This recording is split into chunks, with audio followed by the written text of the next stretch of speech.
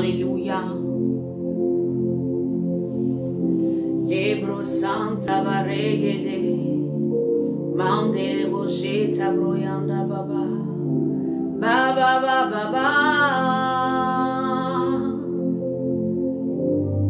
Baba Baba eh. Oh Rabashenta Rabason Terebo Kuria Mama. Ori canta Brian Derebo. Lebro Santa Barregede. Gloria Mayanderebo Shantaraba. Yo.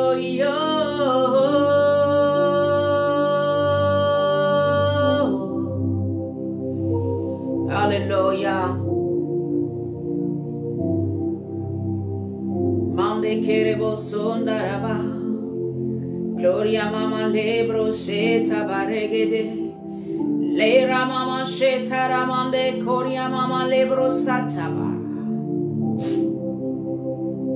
Hindorobo shinta.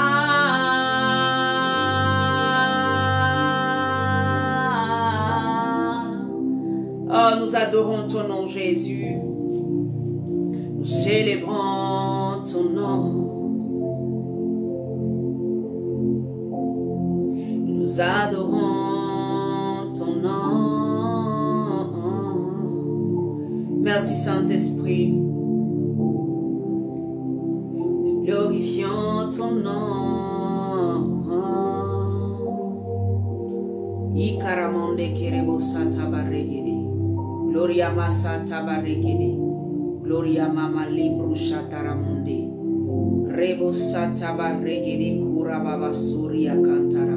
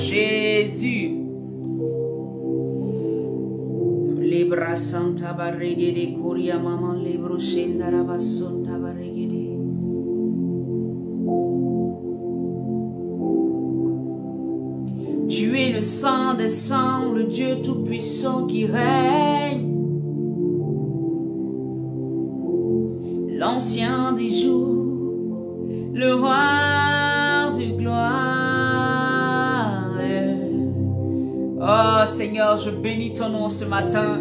Je vais glorifier le nom de celui qui est assis sur le trône. Je vais élever le nom de celui qui règne d'âge en âge. La Bible dit qu'il n'a pas de commencement, il n'a pas de fin. Oh, shalom Ariel, je bénis l'éternel pour ta vie. Je suis contente, ça fait au moins une semaine. Je crois qu'on ne s'est pas vu. Alléluia. Que la grâce de Dieu repose sur toi, servant de Dieu. Que la grâce de Dieu repose abondamment sur toi. Oh, je bénis le Seigneur pour ta vie, Ariel. Que la grâce de Dieu repose sur chacun d'entre nous. Amen, amen, amen, amen. Gloire à Jésus. Gloire à Jésus.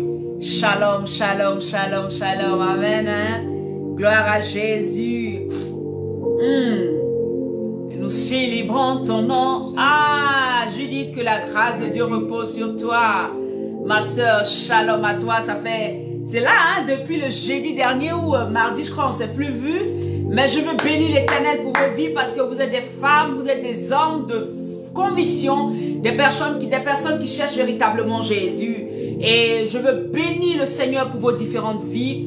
Je crois que le Seigneur que nous adorons est vrai. Alléluia. Et son règne n'a pas de fin. Il est le Seigneur des Seigneurs, l'alpha et l'oméga, le commencement et la fin.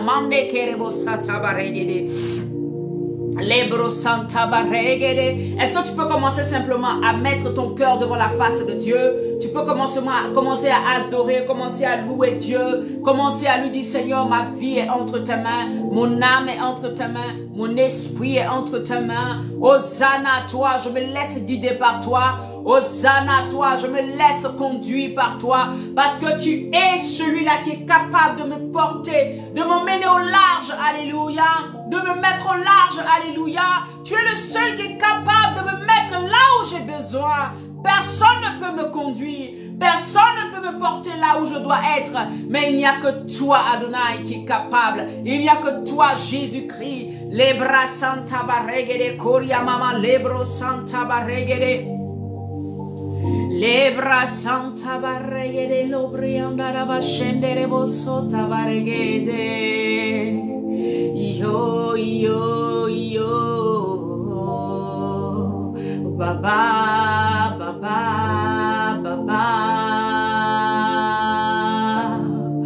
Mon âme te loue, mon âme t'exalte, mon âme te célèbre. Adonai, tu mérites levé et d'être célébré. Les bras Merci Saint-Esprit. Shalom à tous. Que la grâce de Dieu repose sur vos différentes vies. Alléluia. Bien-aimés, je vais lire le psaume 1. Le Seigneur m'a mis à cœur de le lire avant que nous commencions véritablement, Amen, à parler de la parole de Dieu. Et je sais que oui, quand je dis souvent des phrases, vous vous dites, mais qu'est-ce qu'elle dit? Amen. Hein?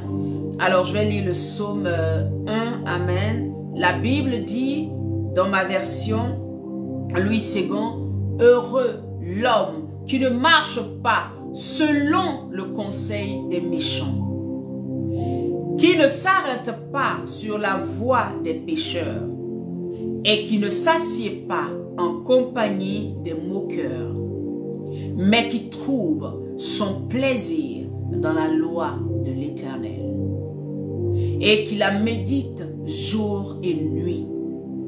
Verset 3, il est comme un arbre planté près d'un près près courant d'eau qui donne son fruit en sa saison et dont le feuillage ne se flétrit point. Tout ce qu'il fait lui réussit. Verset 4. Il n'en est pas ainsi des méchants. Ils sont comme la paille que le vent dissipe. Verset 5. C'est pourquoi le méchant ne, résiste pas au jour du jugement, ni les pécheurs dans l'assemblée des justes. Verset 6. Car l'Éternel connaît la voie des justes et la voie des pécheurs mène à la ruine. Alléluia. Le Seigneur m'a dit simplement de le lire. J'espère que le psaume 1, tu pourras le méditer après je ne vais pas le décortiquer. Le Seigneur m'a juste mis à cœur, lis-le. Voilà pourquoi je le lis. Je ne sais pas à qui ça va faire du bien ce matin, qui va comprendre qu'il doit rester près de Dieu, mais que la grâce de Dieu repose véritablement sur vos différentes vies. Amen. Shalom, shalom à tous. Bien-aimé, le thème d'aujourd'hui, c'est jouissez de sa vie. Jouissez de sa vie. De la vie de qui je parle, je parle de la vie de Christ. Jouir de la vie de Jésus-Christ. Je pouvais le mettre comme ça, mais j'ai plutôt mis jouissez de sa vie. Alléluia. Parce que c'est comme ça que le Seigneur m'a mis à cœur. Jouissez de sa vie. Alors je veux t'encourager, bien-aimé, toi qui es connecté ce matin, à partager, à inviter quelqu'un à venir suivre ce moment que nous allons passer dans la présence de Dieu. Alléluia. Est-ce que tu peux prendre ta Bible dans le livre d'Ésaïe 55 à partir du verset 1. Ésaïe 55 à partir du verset 1. Ésaïe 55 à partir du verset 1. Je lis la parole de Dieu.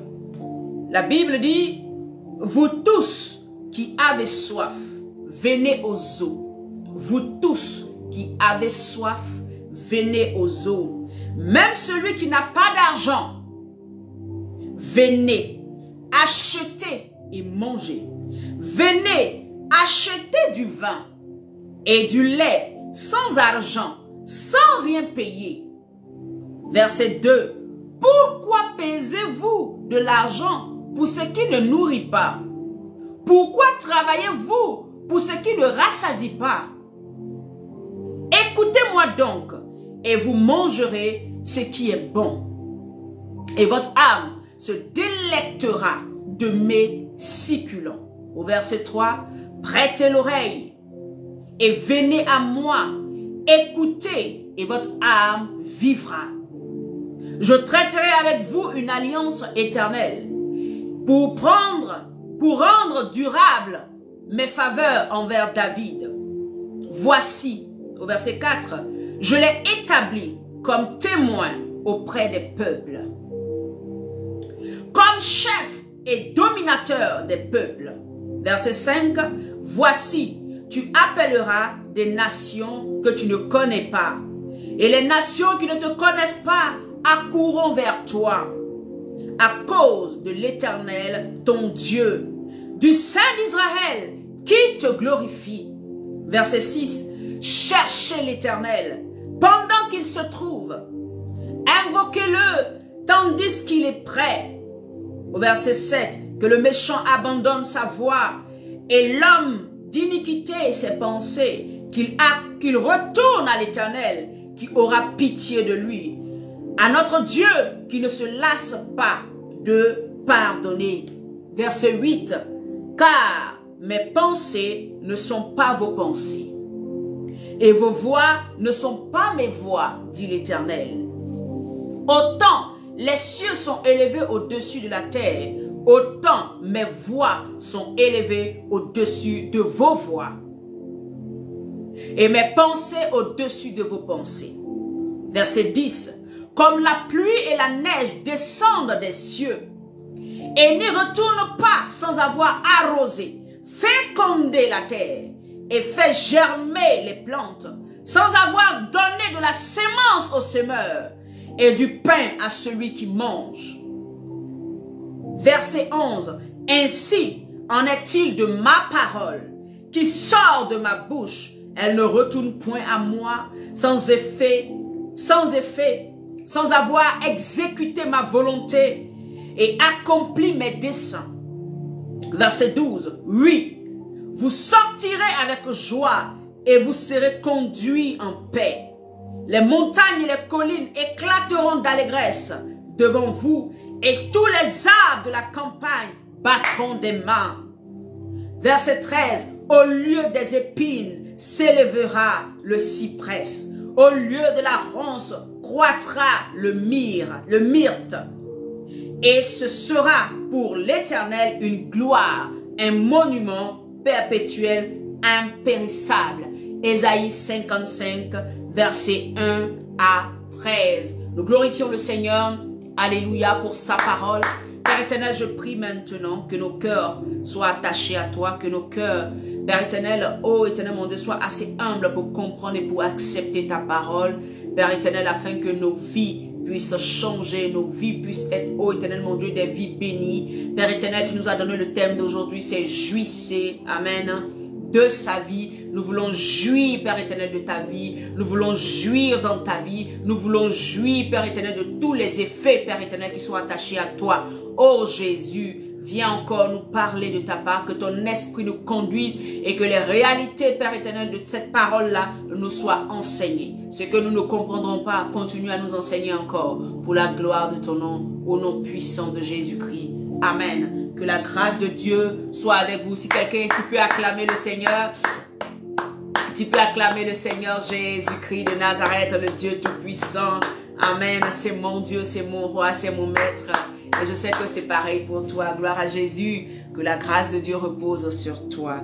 Bien-aimé, la Bible dit, vous tous qui avez soif, venez aux eaux.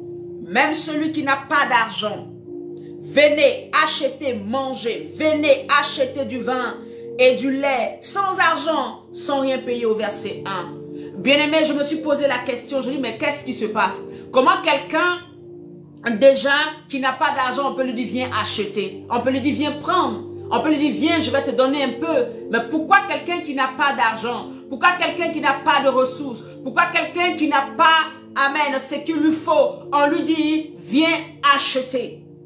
Au début du verset, la Bible dit, vous tous qui avez soif, venez aux eaux. C'est une invitation. C'est une invitation. Vous tous qui avez soif. Amen. Venez aux eaux. Vous tous qui avez soif. Le Seigneur est en train d'inviter quelqu'un aujourd'hui à sa source. Le Seigneur est en train de dire à quelqu'un, tu peux boire de mon eau. Le Seigneur est en train de dire à quelqu'un, tu peux venir t'abreuver à moi. Tu peux venir prendre ce qui te manque actuellement dans ta vie. Je suis la source. Tu peux venir en prendre. Alléluia. Mais il te dit, venez, vous tous qui avez soif. C'est une invitation. Alors quelqu'un peut décider, bien aimé, de ne pas répondre à l'invitation. Quelqu'un peut décider de ne pas accepter cette invitation. Venez, ce n'est pas quelque chose d'impératif. On n'a pas dit tout de suite qu'il nous donne un ordre. Je vous ai déjà dit que Dieu ne viole pas quelqu'un, il ne force pas quelqu'un. Il dit, venez, vous tous qui avez soif. C'est-à-dire que celui qui reconnaît qu'il y a un manque dans sa vie, celui qui reconnaît qu'il a besoin de quelque chose, celui qui reconnaît qu'il y a un manque, il y a un aspect à combler dans sa vie, alors cette personne-là, le Seigneur lui dit ici, vous tous qui avez soif, venez aux eaux, venez aux eaux, même celui qui n'a pas d'argent. Ce qui veut dire que cette chose, cette eau que Dieu veut donner n'est pas acquérie par prix d'argent. Il y a un prix qui est payé, mais ce n'est pas le prix d'argent. Il y a un prix qui est payé pour cette eau, mais ce n'est pas l'argent que tu as. Ce n'est pas, Amen, Alléluia, ce que tu as en main. Voilà pourquoi il te dit, viens acheter. Mais en même temps, tu achètes, mais pas avec ce que tu penses. Tu achètes, mais pas avec l'argent que tu, tu crois. Alléluia. Voyez, quand on lit ça, on va dire, mais de quoi il parle? Comment on peut acheter sans argent? Si on peut acheter sans argent. Alléluia. On dit ceux qui ont soif. Tu sais, celui qui a soif a un désir profond. Celui qui a soif a une a envie de quelque chose de tellement profond. En fait, c'est l'intérieur qui parle. Celui qui a soif, bien aimé, il est capable de faire tout ce qu'il faut pour pouvoir trouver de l'eau. Il y a une source, qu'est-ce que je raconte? Il y a, comment on appelle ça? Un désir fort en lui, qui est tellement fort. C'est pour ça qu'il dit celui qui a soif. Voilà pourquoi, bien aimé, quand tu n'as pas soif de Dieu, tu n'as pas soif des choses de Dieu. Tu n'as pas soif de la parole de Dieu. Tu ne peux pas recevoir. Je peux t'enseigner la parole tout de suite. Je peux te donner un, passage biblique. Mais bien aimé, cela ne va pas agir dans ta vie. Simplement parce que il n'y a pas la soif. Il n'y a pas le désir. Tu es en train de m'écouter, mais tu es focalisé sur le problème qui s'est passé hier. Tu vois? Tu es là, mais tout ton désir, tout ce qui est à l'intérieur de toi n'est pas porté sur une parole qui peut venir changer ta destinée, n'est pas porté sur Christ, n'est pas porté sur l'auteur de ta vie, n'est pas porté sur celui qui peut amener une solution à ta vie. Tu vois, mais elle est portée plutôt sur ce qui s'est passé hier, sur ce que tu attends demain, sur ce qui est en train de se passer. Tu vois, tu n'es pas focus. Voilà pourquoi la Bible dit, vous tous qui avez soif, donc ceux qui n'ont pas soif ne vont pas se sentir intéressés par ça. Alléluia. Ceux qui n'ont pas le désir intérieur de véritablement chercher Dieu au-delà de tout ce qu'ils traversent ne viendront pas chercher Dieu. Voilà pourquoi tu verras qu'il y a des personnes à qui tu vas annoncer la parole de Dieu, tu vas parler de Jésus, mais ils ne veulent pas. Ce n'est pas de leur faute. Leur désir n'est pas grand. Leur désir n'est pas à un certain niveau. Et Dieu peut utiliser beaucoup de choses pour créer le désir en nous. Souvent, les situations que tu traverses sont des situations faites pour que ton désir s'accroisse.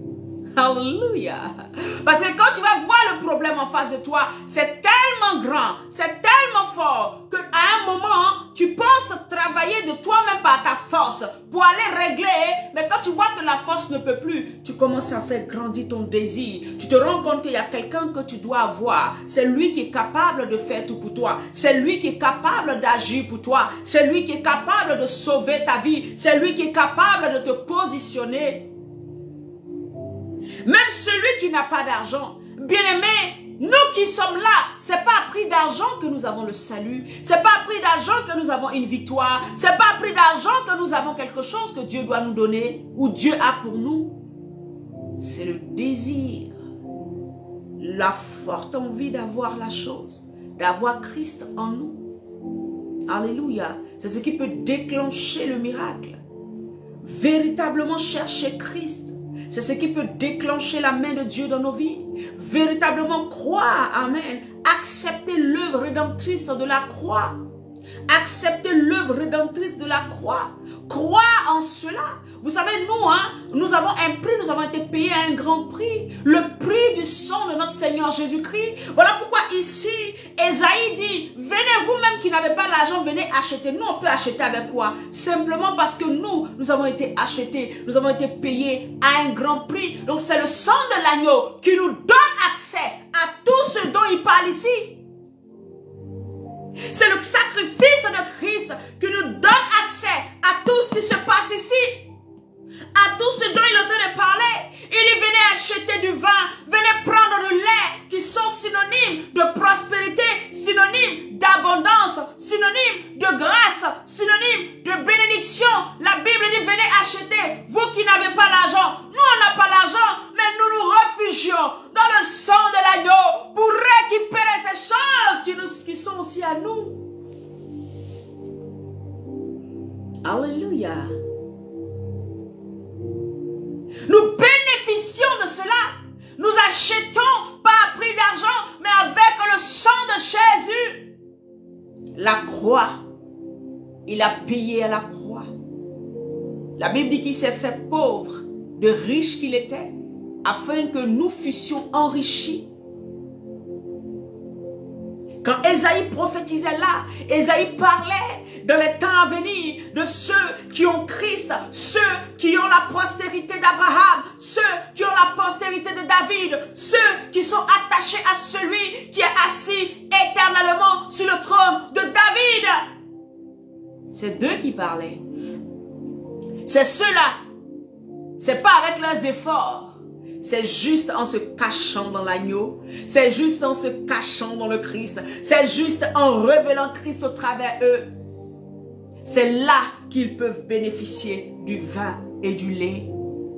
C'est là qu'ils peuvent appréhender, je ne veux pas apprendre, mais prendre toutes ces choses. Parce que c'est en Christ que les bénédictions d'Abraham, alléluia, sont Oh, les plus exprimés, Mande Kerebo. Nous, et qui étions des nations païennes, des nations qui étions rejetées en Christ, nous avons accès à la bénédiction qui fut à Abraham. Parce que la Bible dit dans Hébreu, Alléluia, 13, verset 20 à 20, verset 20, il dit, quand, quand Dieu parle de, de, comment on appelle ça, de, de, de de la bénédiction, de l'alliance qu'il fait avec Abraham. Il dit, je te bénis toi et ta postérité. On ne dit pas tes postérités. Et de cette postérité dont on parle, c'est de Christ. Alors que toi, ce n'est plus toi qui vis, c'est Christ qui vit en toi.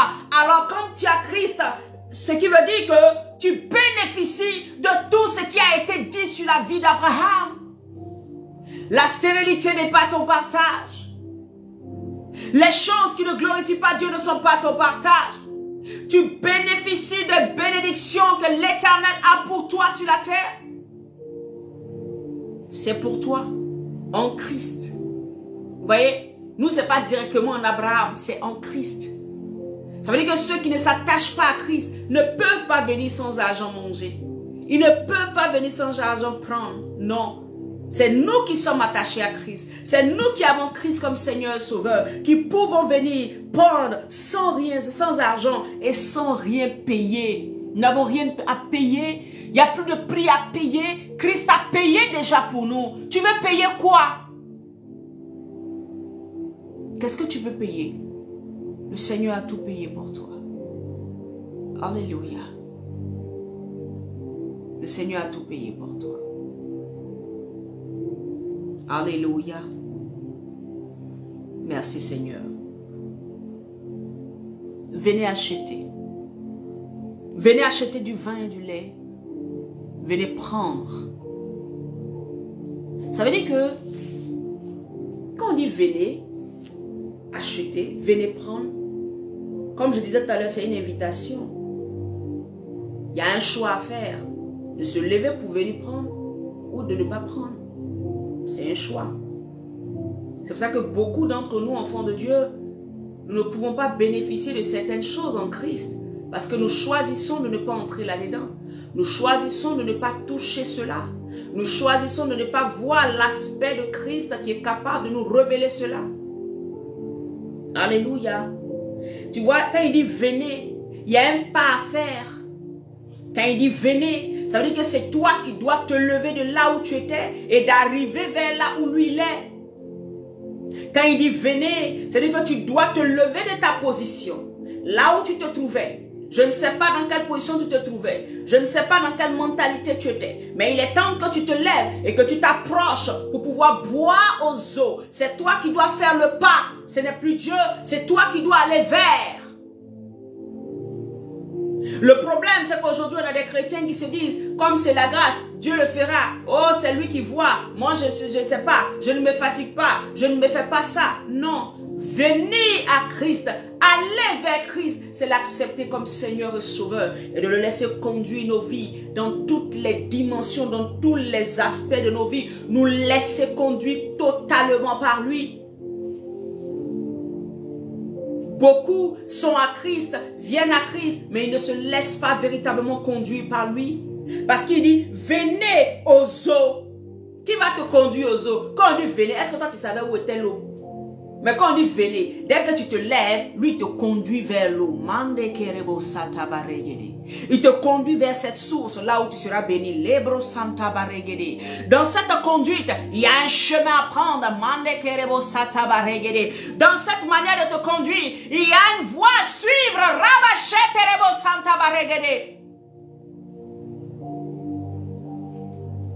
Le chemin peut être long, le chemin peut être court, mais il dit venez. Parce qu'il n'y a pas d'autre chemin, il n'y a pas d'autre voie, il n'y a pas d'autre endroit où tu peux partir. Viens, toi qui as soif. Viens à Christ, toi qui as soif. Toi qui as besoin de quelque chose, viens à Christ. Et la vie te sera donnée. La vie en abondance te sera donnée. La vie qui est, qui est au-delà te sera donnée. Quand tout le monde sera en train de pleurer, toi à toi, Dieu te permettra de voir clairement ce qu'il veut te donner. Alléluia. Bien-aimé, l'évangile de Christ est équilibré. Le même Dieu qui nous dit marcher dans la sanctification, dans la droiture. Le même Dieu dit je te bénis, je te rendrai prospère, comme le prospère l'état de ton âme. Le même Dieu, alléluia, peut dire oui, tu vas passer par des épreuves, mais le même Dieu peut dire c'est le temps de ton abondance. Le même Dieu peut dire c'est le temps où je te mets au large. Le même Dieu peut dire c'est le temps que tu vas un peu, tu vas un peu vivre un peu les déserts. Tout ça, c'est notre Dieu. Il fait tout ça pour notre bien. Alléluia. La Bible dit que toute chose concourt au bien de celui qui aime Dieu. Alors si tu aimes Dieu, rien de ce qui est en train de se passer dans ta vie aujourd'hui n'est là pour te tuer, pour t'oppresser. C'est là pour te conduire sur le chemin, là où il y a la source d'eau, là où il y a l'abondance, là où il y a la grâce, là où il y a la paix de, Yeshua. Alléluia. La Bible dit au verset 2 de Ésaïe 55, Pourquoi pesez-vous de l'argent pour ce qui ne nourrit pas? Pourquoi travaillez-vous pour ce qui ne rassasie pas? Oh. Oh. Voyez, vous perdez beaucoup de vos forces, de votre énergie dans les choses qui n'ont pas de valeur. Vous perdez beaucoup de vos forces, de votre énergie dans les choses qui ne vont aucunement, Amen, vous satisfaire. Vous perdez beaucoup de temps et de force, Amen. Beaucoup de votre, de votre argent, je veux dire de tout ce qui est votre vie, parce qu'on parle de l'argent, ça ne reste pas seulement en termes de monnaie.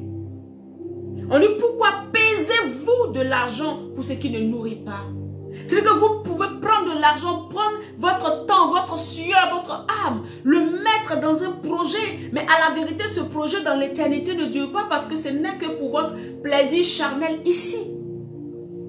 Qu'est-ce que cela peut vous rapporter à la vérité? À la vérité, dites-moi. À la vérité. Tous ceux qui ont eu toutes ces bénédictions que vous voyez sur cette terre, qui ont construit, qui ont fait ces choses extraordinaires, qui ont fait, bien aimé, quand cela n'était pas accompli par la volonté de Dieu, cela n'a pas prospéré. Vous savez, tout ce que Dieu fait dur, je vous l'enseignais la dernière fois, tout ce que Dieu fait dur dans le temps. Mais quand vous mettez toute votre force dans quelque chose où Dieu ne vous a pas conduit, cela ne pourra pas prospérer. Cela ne pourra pas, pourra pas donner du fruit. Parce que Dieu n'est pas dedans. C'est pour cela qu'il dit, venez boire aux eaux. Venez pour que je vous donne la direction. Venez pour que je vous abreuve. Venez pour que je vous donne ce dont vous avez besoin pour aller plus loin. Venez pour que je vous oriente. Venez pour que je vous conduise vers la destinée que vous avez, vers le chemin que j'ai prévu pour vous, vers les choses que je veux pour vous. Venez. Ne faites pas les choses par vous-même. Bien aimé, tant de souffrance, tant de mal pour ce qui n'a pas de valeur. Tant de souffrance, tant de mal pour ce qui est périssable. Tant de souffrance, tant de mal pour ce qui, pour ce qui est, Amen, que la teigne et la rouille peut un jour venir prendre. Alléluia. Tant de mal, tant de souffrance. Mais nous, nous ne nous donnons pas ce mal-là pour servir Dieu. Nous ne donnons pas ce mal-là pour œuvrer pour Dieu. Nous, nous ne nous donnons pas ce mal pour pouvoir faire des choses pour Dieu. Vous voyez, il dit pourquoi pesez-vous de l'argent pour ce qui ne pour, ce qui ne, nourrit pas. C'est-à-dire qu'en temps normal, pèse de l'argent là, pas pour ce qui ne nourrit pas, mais pour ce qui nourrit. Ça veut dire qu'il y a un choix à faire. Ça veut dire qu'il y a un endroit, il y a des, choses à faire. De, c'est que tu dois chercher l'essentiel en fait. Là où tu investis de ton temps, là où tu investis de ton argent, où est l'essentiel? Est-ce que c'est essentiel ce que tu fais? C'est ça. Essentiel Est-ce que quand tu as ta puis tu vas porter ce sac de 10 000 euros, dis-moi l'essentiel, parce que le sac se déprécie. Amen. Ça se déprécie. Tu finis de porter là. Dès que tu vas là, quelque chose à gratter, c'est fini. Tes 10 000 euros sont finis. Donc, le choix que tu fais, c'est ça. Pourquoi tu pèses autant d'argent pour des choses qui n'ont pas de valeur? Pourquoi tu donnes aussi de beaucoup de ton temps pour des choses qui n'ont pas de valeur? Pourquoi tu fais toute cette sueur que tu te, tu débats? La nuit mais tu ne dors pas pour des choses qui n'ont pas de valeur Alléluia. Le Seigneur dit si tu as soif et si tu as faim, viens à lui. C'est lui qui va t'orienter. De telle sorte que tout ce que tu vas faire, quand c'est conduit par l'Esprit de Dieu, quand c'est conduit par Jésus, quand tu as été abreuvé pour la chose, elle dure dans le temps. Et le Seigneur te conduira sur un chemin de grâce et de bénédiction. Il dit pourquoi travaillez-vous pour ce qui ne rassasie pas? Quand on voit les choses, on a l'impression qu'on est rassasié, mais spirituellement, en fait, on est toujours affamé. Spirituellement, hein, on est toujours affamé. Parce que pour ce qui est de Dieu, Dieu s'en charge lui-même. Tu sais, les gens connaissent cette mentalité. Dieu s'en charge lui-même comme c'est de Dieu. Mais ça, là, ça, ça nous intéresse nous-mêmes devons travailler pour ça. Mais quand vous regardez depuis la Genèse jusqu'à l'Apocalypse, c'est Dieu qui a utilisé des hommes pour faire son œuvre. Ce n'est pas des animaux qu'il a utilisé. Ce n'est pas. Il dit même si vous ne me faites pas mon œuvre, je prendrai des pierres. Mais jusqu'aujourd'hui, il n'a pas encore pris des pierres. Et là encore, on peut même utiliser les pierres pour dire même des personnes même qui n'ont pas mon esprit. Alléluia. On peut le dire.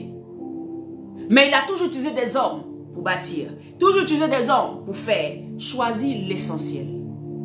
Choisis l'essentiel. Parce que quand Dieu t'a appelé, c'est pour pouvoir compter sur toi sur la terre. Compter sur toi pour que le royaume des cieux s'étende sur la terre. Pour que sa volonté s'accomplisse sur la terre. Il dit, écoutez-moi donc, vous qui, et vous mangerez ce qui est bon.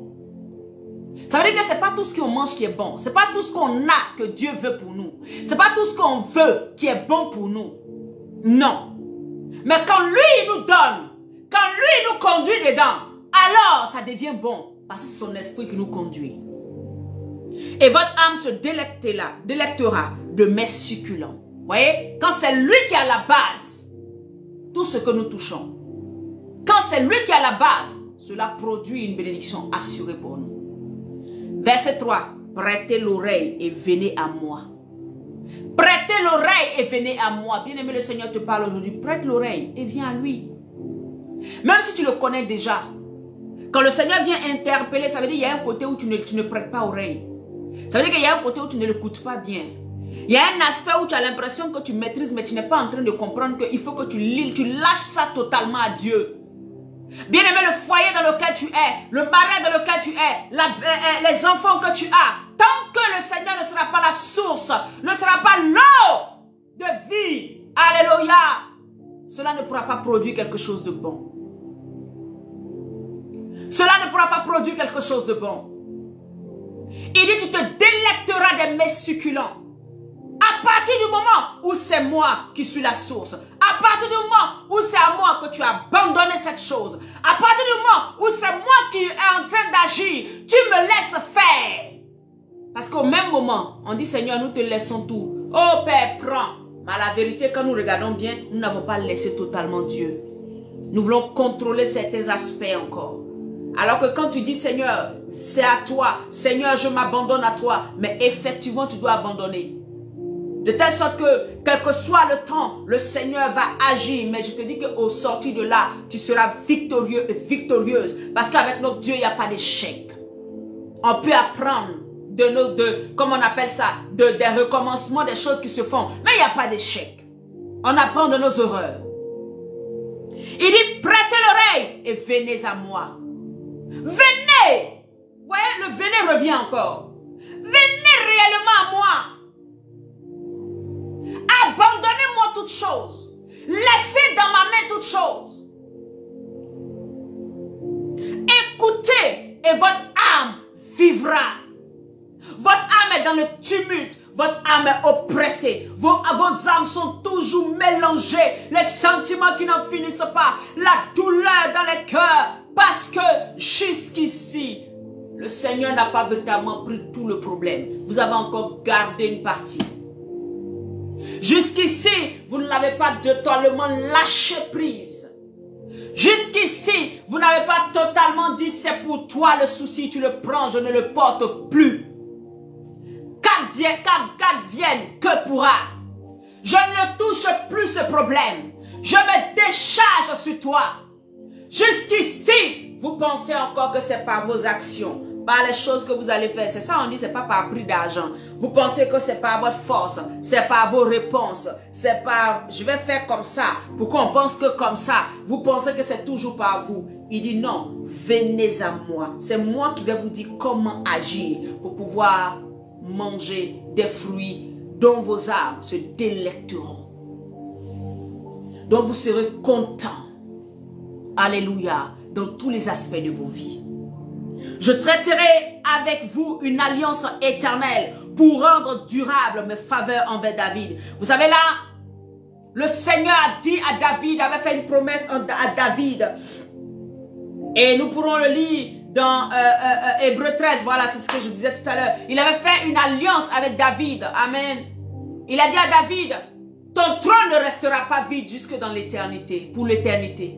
Tant que l'éternité existe là, ce trône sera toujours occupé par ta descendance.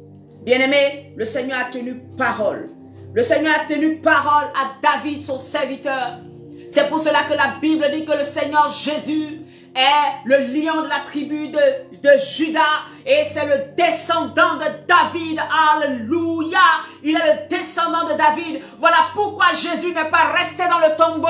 Il ne pouvait pas rester dans le tombeau parce que le trône était là. Dieu avait dit à David, par la promesse qu'il lui avait faite, ton trône ne restera pas vide et éternellement, il y aura quelqu'un sur ce trône. Jésus ne pouvait pas rester dans le tombeau. Parce qu'il avait sa place qui était réservée. Parce qu'il devait régner éternellement. Parce qu'il est le roi de gloire. Alors toi qui appelles quelqu'un mon roi là, aujourd'hui commence à changer. Ton roi c'est Jésus-Christ de Nazareth. Ton roi c'est Jésus-Christ de Nazareth. Quand le roi parle, on obéit. Quand le roi parle, on fait ce que le roi dit. Sinon, nous on connaît la suite. Mais toi ton roi te parle, tu n'écoutes pas. Ton roi te parle, tu fais ce que tu veux. Ton roi te parle, tu n'écoutes pas. Il est roi, mais il dit décharge-toi sur moi. Tu n'écoutes pas. Bien-aimé, qu'est-ce que tu veux à la fin? Il n'y aura que des grincements de dents, des pleurs pour toi parce que tu n'as pas encore écouté ce que ton roi te dit. Le trône de David n'est pas resté vide. La parole de l'Éternel, il dit, quand nous avons lu dans Ésaïe 55, il dit, de la même manière, quand la pluie et la neige tombent, elles ne retournent pas à lui sans avoir accompli la volonté pour laquelle elles sont tombées. Ça veut dire arroser et produire de la sémence au semeur. Arroser les plantes. De la même manière, quand sa parole sort de sa bouche, Ésaïe 55, verset 11, ainsi en est-il de ma parole qui sort de ma bouche. Elle ne retourne point à moi sans avoir exécuté ma volonté. Est-ce que tu crois la parole que l'Éternel a fait sortir sur ta vie? Tu crois aux promesses que Dieu a fait sur ta vie? Le problème, c'est que tu ne crois pas. Mais je veux te dire que quand Dieu avait dit à, David, quand le roi de gloire avait dit à David, ton trône ne restera pas vide. Nous avons la conscience et nous avons l'assurance aujourd'hui. Nous avons la preuve, son trône n'est pas resté vide. Ça veut dire que quand il t'a parlé, il t'a dit, moi, je rétablirai ton foyer. Moi, je te donnerai des enfants. Moi, je t'honorerai. Moi, je te bénirai. Pourquoi cette parole-là, tu ne crois pas? Pourquoi cette parole n'a pas d'effet sur toi? Pourquoi tu ne marches pas en fonction de la parole de l'éternel, qui n'est suivie d'aucun chagrin, qui s'accomplit, et la parole court dans l'air, et elle va s'exécuter pour toi. Elle va s'exécuter pour toi. Tu dis que tu crois, mais quand tu poses un acte, ça nous prouve automatiquement que tu ne crois pas. Oh, La Bible dit que quand la parole de l'Éternel sort, Alléluia, elle ne retourne point à lui tant qu'elle n'a pas assouvi, elle n'a pas exécuté sa volonté. Si Dieu t'a parlé, si Dieu t'a dit une parole, cette parole-là, elle n'est pas, je vais dire, Jean, il m'a parlé le mois dernier, c'est fini tant qu'elle ne sera pas, cette parole ne retourne pas à l'éternel. Tant que cette promesse ne va pas s'exécuter dans ta vie, cette parole ne retournera pas à l'éternel. Est-ce que tu peux croire ça? La parole que tu as entendue il y a 5 ans, la parole que tu as entendue il y a 10 ans, la promesse que tu as entendue de la voix de l'éternel, de la, bouche de Dieu, qui t'avait parlé, il t'a dit, c'est moi qui t'ai établi, qui t'ai choisi. Cette parole s'accomplira certainement cette parole aura accomplissement certainement, certainement va s'accomplir. Alléluia. Hein? Ne doute pas du Dieu auquel tu appartiens. Alléluia. Est-ce qu'on peut prendre Galate 3 Prenons Galate 3. Alléluia. Galate 3. Galate 3 à partir du verset 13 à 16. Galate 3 verset 3, 13 à 16. La Bible dit, Christ nous a rachetés de la malédiction de la loi, étant devenu malédiction pour nous, car il est écrit, maudit est quiconque est pendu au bois. Verset 14. Afin que la bénédiction d'Abraham est pour les païens, nous qui étions païens mais qui ne le sommes plus, son accomplissement en Jésus-Christ. Voilà pourquoi je dis les eaux Oh, lui qui te dit, venez, c'est Jésus. Tu veux bénéficier de Dieu? Mais attache-toi à Christ. C'est la porte qui nous a été donnée. Il dit, je suis la porte des brebis. Elles entendent ma voix et suivent, me suivent. Elles entendent ma voix, me suivent. Elles ne suivent pas un étranger. Elles ne suivent pas celui qui passe par la fenêtre. Tous ceux qui rentrent par la fenêtre ne sont pas les véritables bergers. Et, il répète, et, pardon, je continue. Euh, je reprends au verset 14. Afin que la bénédiction d'Abraham est pour les païens son accomplissement en Jésus-Christ et que nous recevions par la foi l'Esprit qui a été promis. Quand tu as l'Esprit de Dieu, tu as tout. Le package est en toi. Voilà pourquoi on dit que tu as tout en toi. Il n'y a rien que tu dois attendre. Tu dois simplement te lever, alléluia, et entrer dans la présence de Dieu afin que le Seigneur te montre, afin que le Seigneur te conduise, afin que le Seigneur t'oriente, afin que le Seigneur te pousse, afin qu'il étende tes cordages, afin qu'il commence à te pousser, afin qu'il commence à t'élever, afin qu'il commence à faire. Le problème, c'est que c'est toi qui dois prendre conscience que tout est en moi. La grâce est en moi, la bénédiction est en moi, la guérison est en moi, tout est en moi. Le package est là. C'est à moi d'avoir accès. Comment avoir accès? En Jésus-Christ. Croyant en l'œuvre de la croix, croyant en ce que le Seigneur est mort véritablement pour toi, pour que tu sois bénédiction. Il s'est fait malédiction pour que tu sois bénédiction. Est-ce que tu crois en cela? Devant les épreuves, tu arrives à tenir pour dire, moi, je suis une bénédiction. Je suis béni de Dieu. Je suis béni de Dieu. Il n'y a pas de malédiction qui fonctionne sur ma tête. Il n'y a pas de malédiction qui fonctionne sur ma vie parce que je suis en Christ.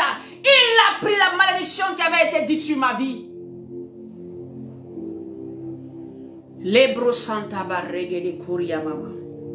Je continue au verset 15. Frère, je parle à la manière des hommes. Un testament en bonne forme, bien que fait par un homme, n'est annulé par personne et personne n'y ajoute. Même un homme qui fait un testament, on ne peut pas annuler son testament. À plus forte raison, ce que Dieu a proclamé te concernant.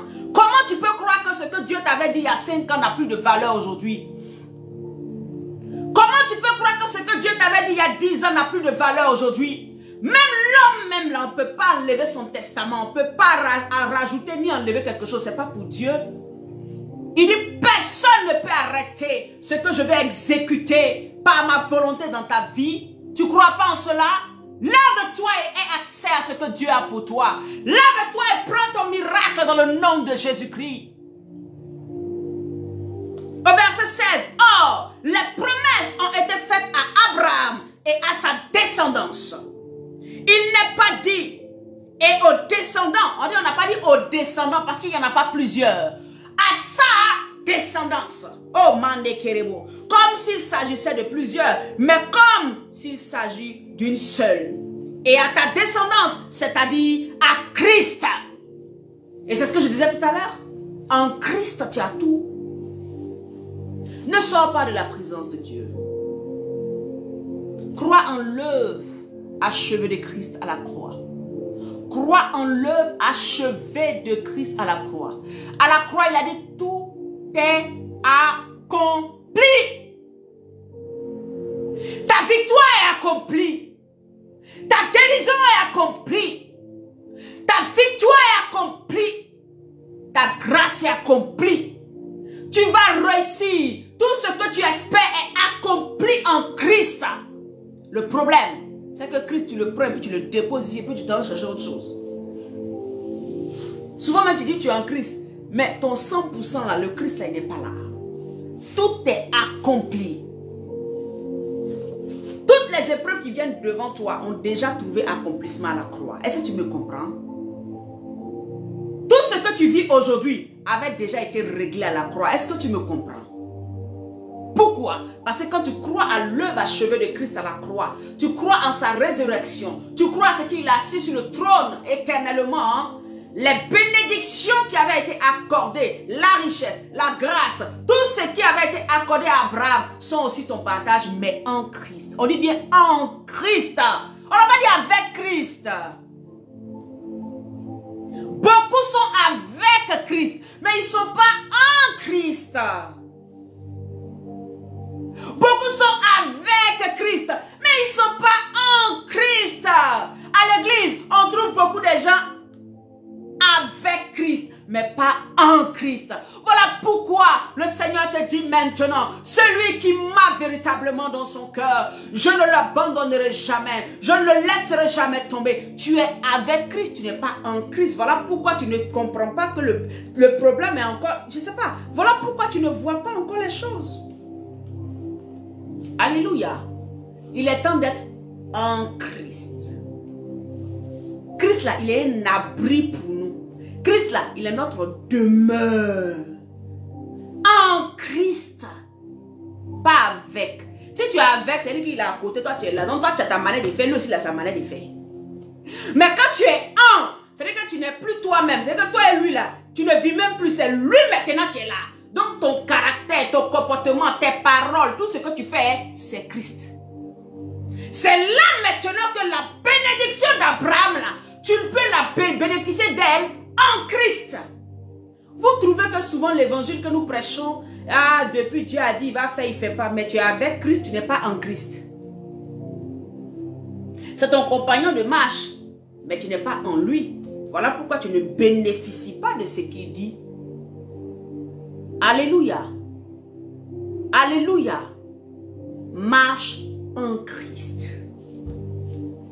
La bénédiction dont je te parle, je ne te parle pas d'une bénédiction physique. Je te parle du royaume des cieux.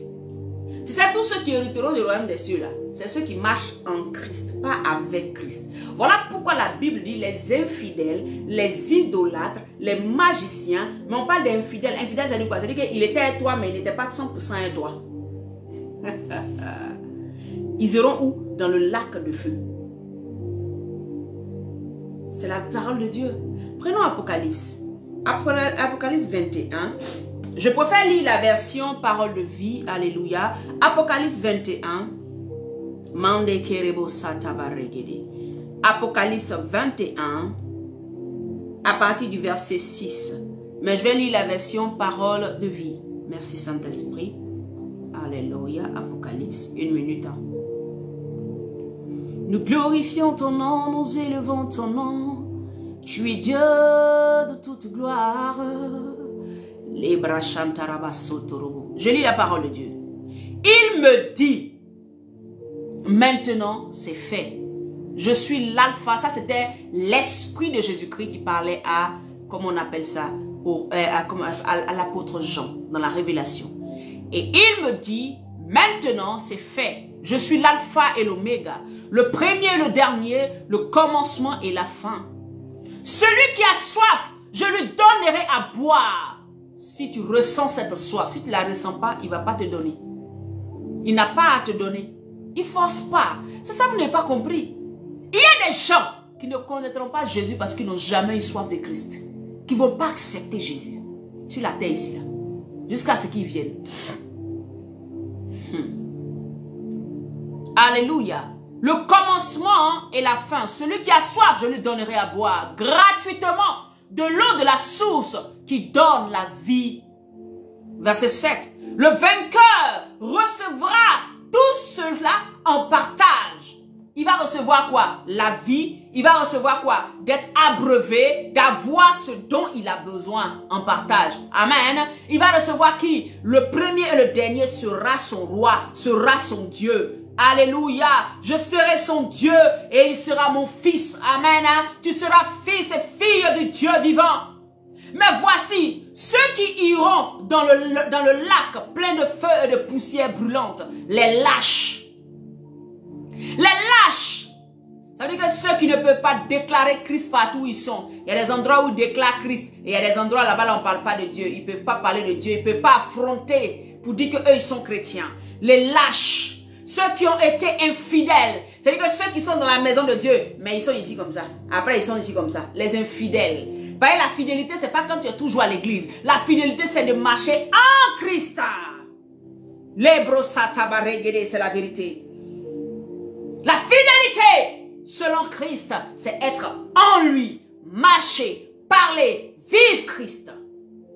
Ceux qui n'ont pas été fidèles, ceux qui commettent des actions horribles, les assassins, les gens immoraux, les sorciers, ceux qui adorent les faux dieux, tous les menteurs, tous ces gens-là dans le deuxième, dans la deuxième mort, dans l'état de feu.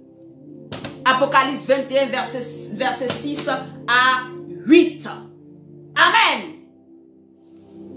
Marche en Christ pour pouvoir jouir de sa vie. Jouir de sa vie c'est de jouir, amen, de la bénédiction au lieu de la malédiction. Jouir de sa vie, c'est de vivre de la richesse au lieu de la pauvreté. Je ne parle pas de pauvreté en termes pécuniers. Parce qu'il y a des gens qui sont pauvres, qui n'ont pas l'argent que tu as. Mais devant Dieu, ils sont excessivement riches. Parce qu'ils ont la sémence divine en eux. Ne vois pas les choses comme les gens du monde. Vois les choses comme ce que l'Esprit te montre. Alléluia. Il s'est fait malédiction, il a été brisé, il a été brisé, meurtri, afin que toi tu sois guéri. Donc la guérison est ton partage, la grâce est ton partage, toutes ces choses sont pour toi. Alléluia, gloire à Jésus, gloire à Jésus, L'Hébreu Santa Barregede. Jouis de la vie de Christ. Manifeste sa vie. Vis en Christ. Ne vis pas avec Christ. Avec Christ, de temps en temps, il y aura des bénédictions. Mais tu ne pourras pas vivre totalement la vie qu'il veut pour toi. Sa bénédiction ne pourra pas être totale pour toi. Son orientation ne pourra pas être totale pour toi. Parce que tu es avec, il est à côté de toi. Tu n'es pas en lui. Tu n'es pas en lui. Oh Saint-Esprit, investis dans les choses qui ne périssent pas. Investis dans le royaume de Dieu. Ne passe pas ta vie à investir en dehors. Là-bas, là, tu vas gagner quoi? Tu vas gagner quoi? Où tu investis en dehors, là? Moi, il y a des chrétiens, quand je les regarde et puis ils dansent pour certaines choses, sincèrement, c'est là que je vois leur niveau spirituel à un niveau spirituel. Alors que c'est là que Dieu veut porter chacun d'entre nous. Niveau spirituel, ce que tu appelles aujourd'hui bénédiction, tu vas voir ça comme de la boue. La Bible dit, Paul regarde, il dit, tout ce que je considérais comme étant de bonnes choses, aujourd'hui je les vois comme de la boue. Ça c'est un niveau. Parce que pour que tu puisses voir ces choses-là comme de la boue, c'est que tu as vu quelque chose qui est plus précieux. Tu as vu le Dieu, le sage, puissant Dieu. Tu l'as vu dans toute sa gloire dans toute son autorité. Et c'est lui que tu recherches. Ah, que Dieu se te fasse cette grâce. C'est pour cela que je t'ai lu le psaume, le psaume 1 au départ. Quand l'Esprit de Dieu m'a mis à cœur, je t'ai dit, je t'ai lu. Je t'ai lu ça. Après, lis, le psaume 1 et marche en fonction. Ne vous asseyez pas en compagnie des moqueurs. Tu es chrétien, tu es toujours en compagnie des moqueurs. Tu es chrétien, tu es toujours en compagnie des pécheurs. Qu'y a-t-il entre la lumière et les ténèbres, dis-moi? Qu'y a-t-il entre Bélial, Amen, et Jésus-Christ, le Saint-Esprit Dis-moi. Jouis de sa vie, mais ne reste pas dans la saleté pour vivre dans sa vie. Reviens dans en lui pour vivre de, dans sa vie, afin que tu puisses impacter les nations, impacter le monde et que les gens voient Christ au travers de toi. Alléluia, que le Seigneur te bénisse. Bien-aimé, je veux bénir le Seigneur pour vos différentes vies. Alors, la révélation que le Seigneur avait donnée sur la France, bien-aimé, je suis allé sur YouTube, vraiment, vous avez partagé, beaucoup ont vu la vidéo, Amen, hein. beaucoup, plus de 6, 5000, 800, 900 personnes ont vu la vidéo et ça a été quelque chose d'extraordinaire, mais je voudrais sincèrement que on ne voit pas en termes de vidéo comme ça, mais prions pour notre nation, la France. Prions pour l'équilibre de la France. Prions pour que le Seigneur puisse équilibrer les choses. Prions pour nos dirigeants afin que la grâce de Dieu se répande. Allez sur YouTube, vous verrez. Alléluia. Écoutez, réécoutez, partagez à quelqu'un. Sachez que le monde est en train de partir vers une situation. Mais le Seigneur veut utiliser des gens dans la grande moisson pour gagner davantage d'âmes, pour gagner un plus grand nombre à lui. Alléluia. Et je veux que tu sois, toi, prêt et prête à pouvoir aller dans cette direction au nom puissant Yeshua Amashia. Alléluia. Que Dieu te bénisse. Merci d'avoir partagé la vidéo. Je sais qu'il y a beaucoup parmi vous qui ont partagé à leurs amis sur YouTube. Merci. Mais ce n'est pas moi. C'est la, la parole de Dieu qui a été donnée. Et donc, croyons en la prophétie de Dieu mais croyons que Dieu est capable de nous sauver, de nous libérer. Le Seigneur m'a parlé sur la Côte d'Ivoire. Aujourd'hui, je devais, je devais parler d'elle, de, de, ce que le Seigneur m'a montré. Et ça a été étonnant. Jour pour jour, une semaine. Dès que le samedi, la nuit de dimanche, samedi à dimanche, je vois pour la France, la Côte d'Ivoire, c'est la nuit de vendredi à samedi, le Seigneur me parle de la Côte d'Ivoire. Mais je veux que ton esprit soit très, très, très, très ouvert. Afin que la parole de Dieu puisse sortir, que tu pries en fonction et que Dieu bénisse ta descendance bénisse en fait ce pays et bénisse tous les pays limitrophes qui sont connaître des difficultés. Priez pour le Burkina, priez pour ces pays limitrophes qui sont en train de vivre euh, des coups d'État à répétition. Bien-aimés, priez, priez, priez. Ne soyez pas de ceux, écoutez-moi bien. Ceux qui servent Dieu n'ont pas de parti politique. Ils peuvent aimer une personne, mais Dieu Notre parti politique là, c'est Jésus. Notre parti politique, c'est Jésus. Alléluia. Donc Dieu peut nous envoyer où il veut, comme il veut. Priez pour cette nation. Priez. Quand le Libéria vivait des situations difficiles, personne ne priait pour le Libéria. Quand ça arrivait en Côte d'Ivoire, on a vu ce que, une partie de ce que le Libéria a vécu. La Centrafrique souffrait. Personne ne priait pour la Centrafrique. Mais quand c'est arrivé un peu en Côte d'Ivoire, on a vu nos autres pays autour qui ont encore un peu de paix. Faites attention, levez-vous, mettez-vous ensemble, intercédez, priez pour que le Seigneur fasse grâce. Ce n'est pas en faveur d'un président, d'une présidente ou bien de je sais pas. C'est en faveur de ce que le Seigneur puisse garder son peuple sur ce territoire en paix. Alléluia. Soyez des intercesseurs dans vos nations. Priez pour les nations, priez pour les gouvernants, priez pour tout le monde. Nous, on n'a pas parti politique. Amen. Hein? Demain, par la grâce de Dieu, je dirai ce que le Seigneur m'a dit et le Seigneur me conduira. Nous allons prier ensemble Amen. Concernant cela et la grâce de Dieu, continuez à partager. Je vais le mettre tout à l'heure sur, sur YouTube. Que la grâce de Dieu soit sur vos différentes vies. Je vous aime dans l'amour du Seigneur. Je veux prier pour que le Seigneur vous fasse vivre en lui afin que vous jouissiez de sa vie. Seigneur, je prie dans le nom de Jésus. Père éternel, permets à mon frère et à ma soeur de marcher en toi, de vivre en toi, afin de jouir afin de jouir de ta vie, ta vie qui est au-delà de ce que nous pouvons imaginer, qui est, éternel mon Dieu, une restauration totale, qui est une bénédiction totale. Là où, éternel mon Dieu, il n'y a pas de manque. Là où, éternel mon Dieu, tu fais des choses extraordinaires pour chacun d'entre nous. Père, bénis chacun d'entre nous. Père, pardonne le péché de ceux qui ont péché. Seigneur mon Dieu, ramène ceux qui ont besoin d'être avec toi. Je prie maintenant afin que ton abondance, afin que ta vie, Seigneur, soit communiquée à chaque personne sur cette plateforme qui verront la vidéo aujourd'hui ou qui la verront plus tard. Que ta grâce repose sur nos vies au nom puissant de Jésus-Christ. Amen. Alléluia. Passez une très bonne journée. Partagez la vidéo. Alléluia.